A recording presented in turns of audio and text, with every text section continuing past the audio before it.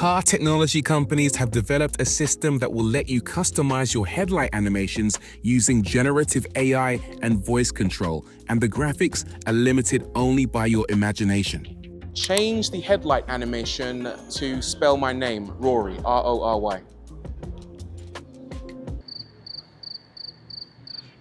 Generating a video about Spell Out Rory Rory will take a couple of minutes. Classic AI. tried. Make an animation of a butterfly. Let's see if this works.